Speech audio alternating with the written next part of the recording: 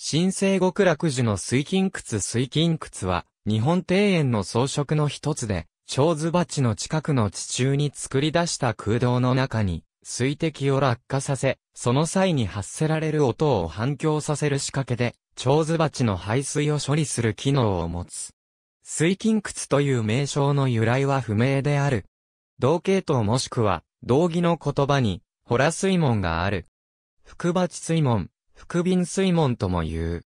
桜山一遊筆記には、小堀正和が18歳の時に、以下のような水金窟を作り、古田茂前を驚かせたという逸話が登場する。ホラ水門深く堀中にすのこを当て上に石を敷き、さてて水門石を並べよりも、連土にて固め松葉を敷きたり、桜山一遊筆記には、ホラ水門、すり鉢水門は、演習より始まりしことなりと記されている。江戸時代に庭園の設備として用いられるようになり、明治時代には盛んに用いられたが次第に廃れていった。1980年代に新聞やテレビ番組で取り上げられたことをきっかけに、その存在が広く知られるようになった。瓶を用いた水金窟の断面二つの瓶からなる岩崎城の水金窟水金窟は蝶ズ鉢の近くに設けられた地中の空洞の中に、蝶ズ鉢の排水を落とし、その音が地上に聞こえるように設計される。この時、排水は適水化して落とす。具体的な過程としては、縦穴を伝って流れ落ちた水が水滴となって、空洞の底面に溜まった水に落ち、その際に発せられた音が、ヘルムホルツ共鳴によって増幅され、縦穴を通して外部に漏れる。多くの場合、空洞は瓶を逆さにして地中に埋めることによって作り出される。空洞の形状には、釣り金形、銅固形、岩頭型がある。東京農業大学教授の平山勝造によると、音響面の効果は、釣り金形が最も大きい。より大きな効果を得るための方法としては釣り金型の空洞を二重に設ける。空洞の側壁の裏側に隙間を作り出すといった方法がある。空洞の幅と深さの関係のバランスによって音の質に違いが生じる。空洞の側面及び上部は石、陶器、金属などによって作られ、側面には土留めが設置される。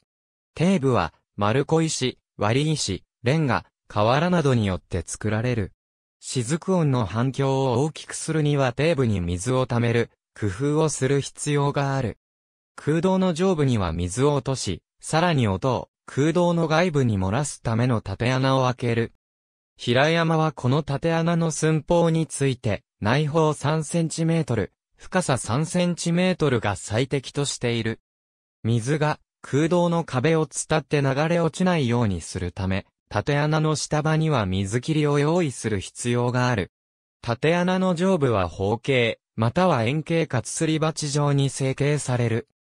この部分は流れ落ちる水の量及び勢いが必要以上のものとなることを防ぐための堤防の機能を持ち、雫音が一定に保たれる。伝統的な水金窟は茶室前の村居に併設されることが多い。空洞の中に溜まる水の量を一定に保つため、そこには排水管が設けられる。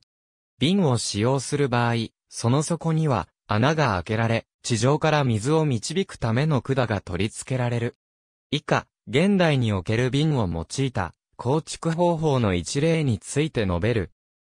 まず、瓶の底に穴を開ける。次に逆さにして地中に埋めた際に、水が溜まるよう、瓶の口を塞ぐ。方法は8分目まで砂を入れ、その上にモルタルを流し込み、それが固まった後で水を注いで砂を流し出す。その際に排水管がも取り付ける。なおモルタルで口を塞がない場合については、穴の中に瓶を入れるの節で述べる。次に瓶を埋めるための穴を掘る。一般に、穴の底には、排水管を通して流れてきた水を自然排水するための層を作る。具体的には一番下に栗石などを敷き、その上に砂を入れる。採石や瓦を入れても良い。その上に瓶を置くため、砂の層は水平にする。別途排水設備を備え付ける場合には、排水槽を設けず、直接瓶を逆さにして入れても良い。なお、掘った穴が崩れるのを防ぐため、井戸枠を入れる場合もある。井戸枠と穴の壁との間の隙間は土などを入れて、突き固める。ついで穴の中に瓶を逆さに入れる。この時、砂の中に瓶が埋まらないように、砂の上にコンクリートブロックなどを置き、その上に瓶を乗せるようにする。瓶を置いた後は、瓶と穴の壁の隙間に採石を入れる。採石は、瓶の底と同じ高さまで入れる。その後はネットを引きその上に砂利を敷く。この際、瓶の底の穴管を通すなど、排水が水滴となって、瓶の中へ落ちるための工夫を施す。工夫を施さない場合、水は瓶の側面を伝うだけで水滴とならない場合がある。また、砂利などが穴の中に落ちないようする。ちなみに、瓶の口をモルタルで塞いでいない場合の瓶の置き方には、以下のようなものがある。この後、蝶ズ鉢を設置する。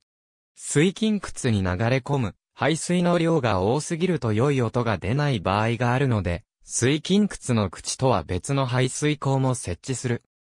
円光時の水筋窟竹筒は音を聞くための、モノ水筋窟の音は、地中に作り出された小さな空洞の中に水滴を落とした際に発生する音で、音を空洞内で反響させ、地上に漏らしたものである。音が小さい場合、聞くための竹筒などを設置してある場合もある。平山活造によると、水筋窟の音は底部に溜まった水の深さに影響される。平山は深さが深ければ、静的な深みのある音が、浅ければ、騒ぎ的な軽い音が出、水筋窟内部の空洞の高さの1、10ほど水が溜まった際に、清楚にして中和せる、最良の音が出る。また、水滴が底部の中心部に落ちると、正確にして、かつ、豊かで、中心から外れるほど、煩雑にしてかつ貧しきものとなる。瓶を用いる場合、天井入り口周辺の裏側に、わざと規則的に凹凸を作ることによって、より大きな水滴ができる。大きな水滴が落ちるときに生じる、重水という小さな水滴が大きな水滴に追随して共に落ちていくことで大きな水滴が水面に生んだ湾状ドームの中に小さな水滴が落ちてドームと瓶の中で音が反響しより綺麗な音が鳴るとされている。水滴の落ち方にはいくつかの種類がある。まず、間欠的な落ち方と連続的な落ち方があり、間欠的な落ち方には、滴水の間隔が1秒ほどのものと2秒以上の物音がある。また、水滴が1箇所から落ちる場合と2箇所、または3箇所から落ちる場合とがある。これらは、水量で調整される。